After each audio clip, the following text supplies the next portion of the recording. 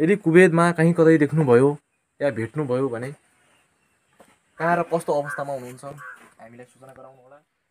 नमस्कार दर्शकबिन। मेरो नाम हो हिमाल केपी परियार। दर्शकबिन यतिखेर छु म सुर्खेतको पञ्चपुरी नगरपालिका वार्ड नम्बर पाँच बाबे चौरमा छु। यतिखेर यो परिवार देखिराख्नु भएको छ जो विगत बाह्र वर्षदेखि बाह्र वर्ष जो विगत बाह्र वर्ष भयो उहाँको छोरी दुबई कुवेत गएर सम्पर्क विहीन भएको भनेर उहाँले भनिराख्नु भएको छ। यहाँको छोरा हुनुहुन्छ दिपक नेपाली जो एक वर्षको हुँदा उहाँ जानुभएको थियो उहाँको मम्मी हुनुहुन्छ। अनि हजुरले हजुरको छोरी सम्पर्कविहीन हुनुभयो। भन्दै गर्दा कहिलेदेखि हजुरको छोरी सम्पर्कविहीन हुनु हुनुभएको छ? हाम्रो दर्शकहरूलाई भन्नुहोस् त। हजुर मेरो छोरी चाहिँ अहिले बाह्र वर्ष भयो हजुर यो केही अत्तपत्त केही छैन। भन्दै मैले चाहिँ यी कुराहरू यसो चाहिँ खोजी तलासी गरेको छु हजुर। कहाँ छ कता छ यसो चाहिँ खबरी गरिदिन अनुरोध गरेको छु। ए विगत बाह्र वर्षदेखि नै सम्पर्कविहीन हुनुहुन्छ कि बिचमा? अहिले सम्पर्क भए- नभएको हजुर बाह्र महिना भयो। ए सम्पर्क नभएको बाह्र महिना भयो? गएको बाह्र वर्ष भयो। नभएको। बाह्र बाह्र वर्ष पुगेर बाह्र वर्ष पुगेर तेह्रमा लाग्यो। ए। उहाँको मम्मी हुनुहुन्छ? अब वैशाख वैशाखको महिनासम्म त्योसँग फोन भयो यताउति भयो त्यहाँबाट उता आनन्द बन्द भयो। अलि जोरले बोलिदिनु न दर्शकहरूले सुन्नु न। कहिलेदेखि कहिलेदेखि कुरा हुन्थ्यो तपाईँको चाहिँ? वैशाखको महिनासम्म कुरा भयो त्यहाँदेखि यता कुरै भएन। ए, ठ्याक्कै एक वर्ष भयो कुरा एक नभएको वर्ष दुई महिना भयो। एक वर्ष दुई महिनादेखि तपाईँसँग सम्पर्क छैन। छैन। उहाँको छोरा हुनुहुन्छ। दर्शक पनि हेर्नुहोस् उहाँको छोरा हुनुहुन्छ दिपक नेपाली। उहाँ एक वर्षको हुँदा यहाँको मम्मी कुवेत जानुभएको थियो। धन कमाउन भनी कुवेत जानुभएको थियो। र दिपक नेपाली बाबु केही भन्छौ? तिम्रो मम्मीसँग कुरा हुन्थ्यो कि हुन्थेन बिचमा? हुन्थेन। हुन्थेन? खै त्यो तपाईँको तपाईँ लगाएको माइक। ए कुरा कुरा हुन्थेन बिचमा? हुन्थेन बिचमा हुन्थेन। पहिला हुन्थ्यो। बिचमा हुन्थेन। अरू त त्यस्तो केही थाहा भएन मलाई। ए एक वर्ष पहिला चाहिँ कुरा हुन्थ्यो। हुन्थ्यो। के भन्नुहुन्थ्यो तपाईँको मम्मीले कुरा गर्दाखेरि? के भन्ने छिटै आउँछु बाबु भन्नुहुन्थ्यो। आउँछु भन्ने नआउने त्यस्तै भयो पैसा पैसा त पठाइराख्नु भएको? पहिला त पठाइरहनु भएको। अहिले फेरि फोन सोन केही हुँदैन। हजुर हजुर अब कता जानुभयो के के गर्दै हुनुहुन्छ? थाहा भएन अहिले।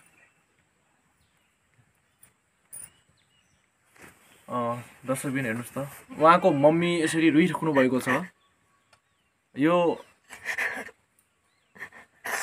उहाँ मम्मीको आँसु हेरेर भए पनि यो लाइफलाई तपाईँहरूले सक्दो सेयर गरेर त्यसले काट्ने दुःख काटी बाबु नकाट्ने दुःख काटी घर हाली दुवार हाली अनि सुक्ख काटेर काट्ने बेला कापी बत्ता भइके छु दर्शकबिन हेर्नुहोस् त उहाँ मम्मीको आँसु हेर्नुहोस् त यस्तो अवस्थामा हुनुहुन्छ उहाँ चाहिँ छोरी आउने आशामा एकदमै यो आँसु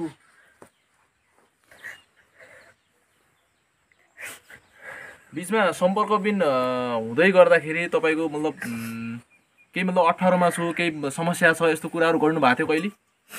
त्यस्तो समस्याहरू। केही भएन। एकचोटि त्यसको घाँटीको अपरेसन भयो। ए हजुर हजुर। घाँटीको अपरेसन भयो त्यहाँपछि छ महिनासम्म बोल्न सकिनँ त्यहाँपछि बोली। अब म सन्चो भएपछि आउँछु मम्मी के चिन्ता नमान्नु भने।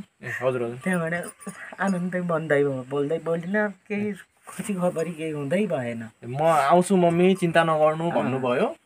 अर्को नाति यस्तै सिन्का जस्तै छ त्यो जेठो नाति सुकेर यस्तै छ त्यो आमाको चिन्ताले। कहाँ छ जेठोवाला कहाँ छ? तल मामाहरूसित भएको छ। यो कान्छो यसले त बिर्सिएको त आमाको वा- यादै आउन्न यसलाई। ऊ चौबिस घन्टा रोको छ रोको छ ऊ। ऊ छोरी कति कति वर्षको छँदा जानुभएको थियो उहाँ कुवेत यो छ वर्षको थियो आमा जाने बेला। के वर्षको हुनुहुन्थ्यो? छ वर्षको थियो। अब यत्रो भयो। त्यो आमाको त यादै छैन यसलाई त त्यो ठुलो चाहिँ रोको रोइ रोको रोइ। केही छैन यही सिन्कालाई हेरे बस्यो कि बाँकी बाटो छ बाटो उहाँलाई कस कसले पठाउनु भएको थियो उहाँलाई? त्यसलाई लगेको यो बराइचेको खरनन्दले हो। खडानन्द कि? कडेल एक चाहिँ खडानन्द कणेलजीले पठाउनु भएको थियो उहाँलाई? अहिले के छ उहाँसँग सम्पर्क छ कि छैन? नाइ नाइ हुन्न। केही छैन? ठिक छ हामी उहाँसँग पनि सम्पर्क गर्ने कोसिस गर्नेछौँ। कहाँ र कता पठाउनु भएको कुन कामले पठाउनु भएको थियो? अनि बाबुले के भन्छौ? उनलाई यादै छैन। एक कति वर्षको भन्नु उहाँ? जाँदै गर्दा? छ वर्षको छ वर्षको। छ वर्षको उहाँ हुनुहुन्थ्यो। उहाँ चाहिँ त्यो यादै छैन। मलाई नदेखे पनि तडबिएर हिँड्छ ए आमै भन्दै मलाई कहीँ गोठला गर्छु उहीँ पछि दुगुर्छ कहीँ यताउता आयो आमै कहाँ गई मन छ कराउँछ हिँड्छ त्यो आमाको यादै छैन। यहाँ। हो आमा भनेको छ बा यही हो आमा यही हो भनेको छ। ए हजुर हजुर। विगत मतलब एघार वर्षसम्म त उहाँले पैसा पठाइराख्नु भएको थियो। पठाइ पैसा पठाइ यत्रो घर हालिन् द्वार हालिदिनु। जिम्मी जग्गा बनाइ अब छोराछोरीलाई राम्रै लाउनु खानु सबै कुरो राम्रै भयो। गाउँघरको ऋणतिरी दानतिरी आधा अधेरी पैसा छ सात लाख अलपत्रै गाउँघरमा कहाँ कहाँ बिहा थियो उतैबाट। अब त्यो के गर्ने के काम त्यसको? जो दिनेवाला छैन अहिले एकाएक उहाँ सम्पर्क भइरहँदा उहाँको आँसु हेर्नुहोस्। मम्मी यस्तो अवस्थामा हुनुहुन्छ बुवाले फोटो हातमा लगेर उहाँको खोजी गरिराख्नु भएको छ। हजुरले के भन्नुहुन्छ? यतिखेर धेरैले हेर्दै हुनुहुन्छ मैले के भन्ने हजुर अब मैले चाहिँ बनाउनु छोरी कहाँ छ कता छ भन्ने एउटा चाहिँ नि खोजी तलासी गर्न लगाइरहेको छु। म पनि एउटा चाहिँ के छ कस्तो छ त्यसको तपाईँले बुझिदिनु होला भन्दै मैले यही कुरा गरिराखेको छु। यो हेर्नुहोस् त यो फोटो हो निर्मला दमाईको। उहाँलाई जहाँ जता तपाईँहरूले यदि कुवेत कुवेतमा बस्नुहुने दाजुभाइ तथा दिदीबहिनीहरूले उहाँलाई देख्नुभएको छ यदि तपाईँहरूको सम्पर्कमा हुनुहुन्छ भनेपछि कृपया हामीलाई सम्पर्क गर्नुहोला। उहाँ विगत बाह्र वर्ष पहिले धन कमाउन भनी कुवेत जानुभएको थियो। अहिले एघार वर्षसम्म उहाँ सम्पर्कमै रहनुभयो पैसा पठाउनु भयो र एक वर्षदेखि अचानक उहाँ चाहिँ सम्पर्कबिन हुनुभएको छ। उहाँको मम्मीको अवस्था यस्तो छ। रोइराख्नु भएको छ। उहाँको बुवा मम्मी उहाँ घर आउने आशामा बसिराख्नु। उहाँले तपाईँको एघार बाह्र वर्ष भयो भन्दै गर्दा यतिका वर्षसम्म तपाईँहरूलाई एकपटक छोरीलाई बोलाउनु पर्छ भनेर त्यस्तो लागेन? बोलाउन पर्छ। आइज बाबु भने त्यहाँ पछि भन्नुहुन्छ अब सेठले म सेठैनले पैसै दिन्न मलाई घर हालेर ऋण लागेको छ। तँलाई के पैसा चाहिएको छ? चुप लागेर बस। तेरो परानीको आश छ कि नै भन्छे मम्मी। अब मैले के गर्नु मलाई डर लाग्छ।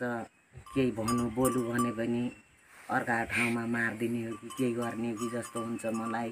म के गरी निस्किम? त्यहाँसम्मको कुरा आफू। असुरक्षित भएको तपाईँहरूलाई सूचना दिनुभएको थियो उहाँले जानकारी गराउनु भएको थियो भनी त त्यसले यस्तो भन्छ नि अँ, दर्शकबिन हेर्नुहोस् उहाँको मम्मी यस्तो अवस्थामा हुनुहुन्छ। उहाँ खतरामा छु भनेर उहाँको छोरीले मेरो म चाहिँ असुरक्षित छु यो कुवेतमा म असुरक्षित छु। यहाँ के पो के पो हुन्छ भन्ने जस्तो उहाँलाई सूचना पनि गराइराख्नु भएको थियो। भन्दै गर्दा कति समय पहिला तपाईँलाई चाहिँ म असुरक्षित छु मम्मी म यहाँदेखि आउन सक्छु या सक्दैन? मेरो ज्यान खतरामा छ। यस्तो कुराहरू केही गर्नु भएको थियो भन्नुभयो पहिला? पहिला त्यसले राम्रै कुरा आयो राम्रै छ मम्मी मलाई राम्रै छ नराम्रो केही छैन चिन्ता केही नमान्नु भन्दै भने उताएर हामीलाई सम्झाउने बुझाउने गऱ्यो। त्यहाँपछि त्यो घर हानिदियो पैसा पानी पठाएँ। उहाँ पनि ऋणदान रहेछ ससुराको त्यो ऋणदान पनि तिरी त्यसले एक रुपियाँ छैन ससुराको पनि। हजुर सब ऋणदान तिरी।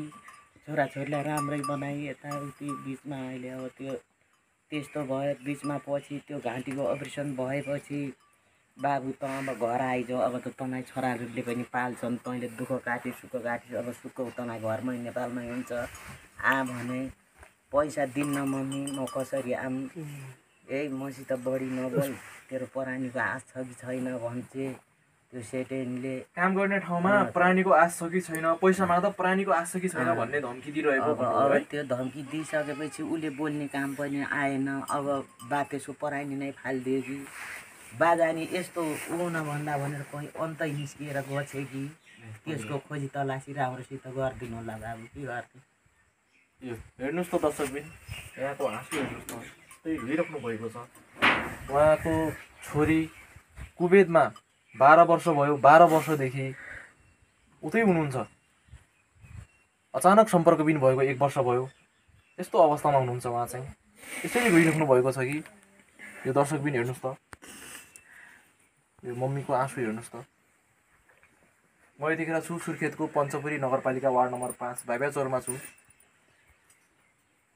उहाँको बुवा उहाँको छोरा उहाँको मम्मी यो उहाँले लगाएको घरमै छु। यो यस्तो अवस्थामा हुनुहुन्छ।